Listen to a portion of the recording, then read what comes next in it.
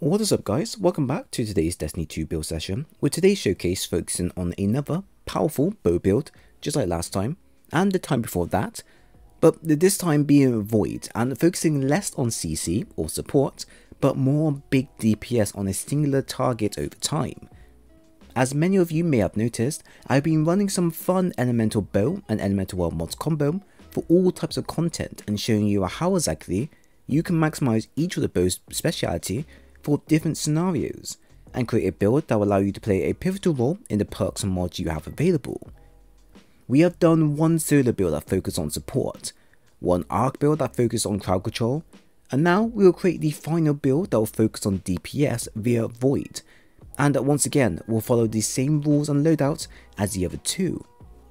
The build will involve the use of the Le Monarque Exotic Void Bow for continuous damage over time, and then combine them with Top Tree Void and Contraverse Hold for a big boost in grenade damage as well in its duration. And then lastly, we'll enhance our abilities via the Elemental Well mods, which will work alongside everything Void base that we have to offer. This will overall create a high DPS and continuous damage build that will help you against the biggest and baddest enemies available in normal or endgame content, and you'll be rewarded with more energy as long as you keep the damage up. A lot of what I'm about to say to you may sound familiar to what my other builds are like, and you may even see a few things such as mods or perks being used or repeated again. And this is basically to show you how similar the build is compared to the other bow builds we have done in the past. Think of the build like a purple member of the Power Rangers who focuses less on team support and more on inflicting the maximum amount of damage to a boss. It sounds crazy and slightly out there, but it works. So before we head in, if you enjoyed the video, then I'll really appreciate a like and a sub, as it goes a long way for me. So the subclass I've chosen is the Attunement of Chaos, which will be combined with the Contraverse Hold Exotic and Chaos Accelerant Tree Perk for a bigger, stronger, and longer lasting grenades. If you are ever deciding to head into endgame and you want a simple build that will net you a lot of grenade energy back while producing a large amount of damage in one go, then this combo is the one you want to go for, as is extremely useful against a single powerful enemy with its damage over time. This subclass is a very good introductory class that can be used in all content, as its passive ability will reward you strongly for its grenade regen and then super. Entropic Pool will grant you grenade energy when you melee and activate it, and Chaos Accelerant will allow you to overcharge your grenade to make it a lot more stronger and also last longer, um, these two are mainly the two perks that our build will strongly rely on throughout the whole build. Compared to middle tree and bottom tree, they don't require a lot to activate them, which is great for using it in game, but mainly the fact that you can combine it with the Contraverse Hold exotic and also get a random amount of energy back pretty much sets the build up for a singular powerful enemy clearer that you can always rely on.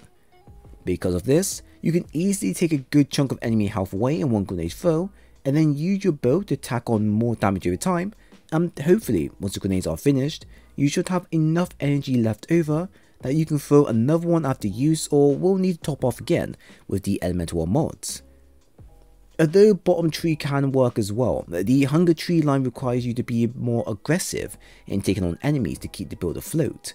Something that I believe won't work with what I'm going for as it's too risky to use if you get surrounded and you die too much and I would need to also change the weaponry up to accommodate the sub tree, which would ruin what we already got going. This of course may be something that you could work with if you test it around on your end. For weapons, the loadout is near the same as my last recent build with a few changes to primary and heavy being used. I thought it would be wise to show you what other weaponry is viable if you don't want to carry on using the meta tier weapons. It's also nice to change up how we play in content as well, as there are some weapons that don't get the love they deserve because they get easily overlooked. My primary will be the Toil and Trouble shotgun with slide shot and snapshot sights, and although the role I have isn't what I would call a PvE role, it's still just as much effective in PvE as it would be in PvP. As a aggressive frame, the weapon has a high punch to it, but also reloads pretty slowly, which thankfully in our case, we can fix this area via the slide shot perk, which will partly reload the weapon.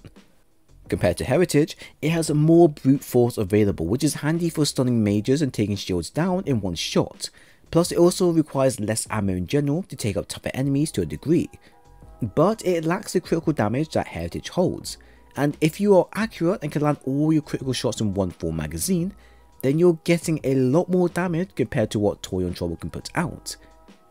Downside to Heritage though is that, funny enough, it lacks brute damage that Toil has, which would be useful for stripping elemental shields down. You can see that both shotguns are viable and are a good choice to pick if you have either one. They both give you good damage, just one will be a lot more suitable in certain environments. For secondary, I'm using the Le Monarque Void Bow that will allow us to add Void Burn damage to any enemies affected and will act in hand with our Exotic Gauntlets and subclass grenades. The bow is very similar to how Ticuu's Divination works with the burn tick damage over time, but is more slightly straightforward in terms of applying it and on a repeated basis compared to Ticuu's design. With the subclass, it will work alongside our overcharge grenades for more damage as long as we proc his ability on a continuous basis, and will also aid in generating ability energy via the Elemental Armaments mod that will increase the likelihood chance that an elemental well will always drop. It can also spread its effects to others who are caught within its blast radius, allowing us to easily mop up any stragglers near key enemies, which is handy when you can't get close to certain types of enemies. The only downside to the bow is that it lacks a catalyst compared to Ticuu's and Trinity, which it sorely needs to further buff the weapon. For heavy, I've chosen to use the 7th Seraph Saw machine gun with clown cartridge and Vorpal weapon, and although the machine guns are in a weird place in terms of use and DPS, they still have some straight up damage potential against bosses when used for continuous damage over time. The role I have is specifically designed around builds as much as can be, with Clown Cartridge allowing you to gain a random amount of extended ammo to your current magazine after each reload, which can be useful when 56 in the magazine won't be enough for whatever you're up against. And then, Vorpal is very handy against bosses as you're getting a straight 15% damage increasement. Both of these in hand can allow you to do some serious damage on a boss over a long period, which can then further add in the abilities and weapons in play to extend the damage more. Rockets are still viable and so are swords, but in this case here I decided to mix it up and go with machine guns, as they do have some usage here and there. For the stats, we're going to be heavily investing in grenades for pretty much 99% of the content we face, and use our abilities where fit, we will need to invest as much as we can for a consistency route of power alongside our other gear. We won't be relying on any demolitionist or worseman perks as they generally won't be needed for what we got. Uh, taking a look at discipline, it should roughly be the highest stat in your arsenal as you're going to be using it a lot for activating the elemental well mods and their effects that will help in building up our super, giving us a damage boost and help with regenerating all of our abilities in one go aiming for a 70 for a 41 second cooldown, or even 60 for a 45 second cooldown would be ideal as we will have enough points left over to invest in other areas that can also benefit from our grenades. And then you also have to remember that we aren't using any given perks such as Wellspring or Demolitionist to help boost their stat anymore. So everything in hand will be naturally gained over time. On top of the stat, we are also going to be adding in the Elemental Ordnance mod, which will allow you to drop a Void Well upon grenade kills, and then this will allow you the ability to have improved ability regeneration for 30 seconds. And then the Elemental Armaments mod will also allow us to produce Elemental Wells as well as we go via our Void Bow via kills. Common mods such as Distribution, Innervation and Bomber will also be present for faster overall ability and grenade regeneration, and at this point, you will have enough passive buffs occurring that will net you more natural energy compared to using a singular perk, which is great for freeing up room for weapon choices and also utilizing your strengths elsewhere. We do also have the intellect stat that is the second most important stat to worry about, as just like our grenades, we will also be using it a lot for DPS. I have aimed for a 50 as we will be combining it with the Font of Wisdom mod which will provide you an extra plus 50 intellect points into your common intellect stat. So with my 50 intellect and the extra 50 intellect from the mod, once active, I will have a cooldown of 100 which is a 3 minute 48 cooldown. The good thing with this is that the super is quite effective in endgame content, so it's definitely worth investing a bit of points into this area for the long run. We also have the Elemental Light mod as well that can net us even more Void Wells upon our super hitting multiple targets, and I found that against a large group of enemies, it can spawn multiple in a short amount of time. It won't look as fast on your end or instant, but the bonus point you're getting for 30 seconds is worth investing in for a passive perk. Though having the energy converter mod may be more fruitful if you know how to maximize that instead. Recovery can get some focus as well if you plan on using your empowering rifts or healing rifts, so aiming for 50 is what I would consider a sweet spot. Strength can also follow suit as it will stick in the same pathway as our grenades, but used less often as I don't plan on sticking in close range engagements. 40 would be the most suitable for this stat unless you plan to switch up what I have and use close quarter fighting as part of your own setup. Now, here are the rest of the mods that dictate how the build works behind the scenes. For head we have intellect, bow ammo finder and elemental armaments mod. Arm we have resilience, fastball, overload bow and font of might mod. Chest we have discipline, concussive damage times 2 and font of wisdom mod. Leg we have discipline, better already, innervation and elemental ordnance mod. Bond we have minor intellect, distribution, bomber and elemental light mod.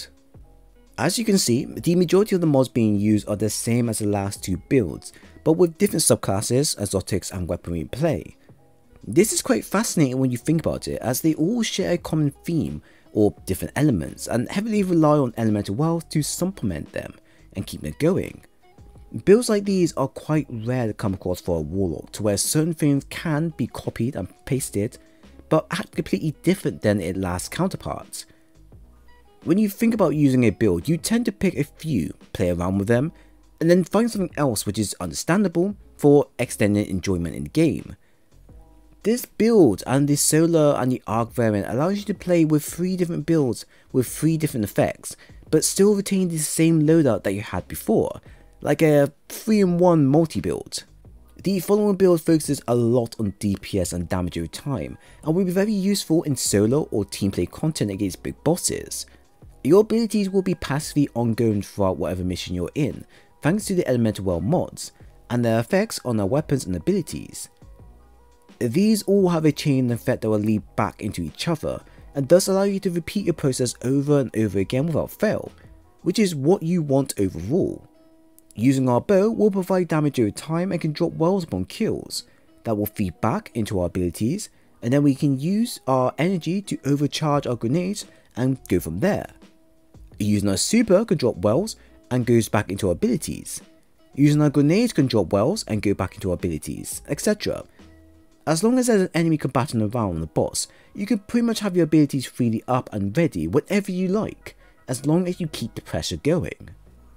The build, to me personally, it acts like a mini Nezarec Sin, with a slightly slower ability regeneration, but a much more consistent way of keeping your abilities fresh, and of course, you want to keep this as fresh as possible, especially for Gambit, Strikes, Raids, Dungeons, or even Nightfalls, solo or teams. If you have ever wanted a Void DPS build that makes full use of mods throughout without little sacrifice, Try this build when you get the chance to and do try out in a boss focused content as the damage is very very large especially for solo players who need something for the new lost sectors or if they want to do a solo run of the new dungeons. So if you enjoyed the video then please leave a like and a sub and also follow me on Twitter to keep up to date with Destiny and Titanfall 2 lore content. If you dig that type of stuff, link is down below. But once again, thanks for stopping by. I'll see you on the next one.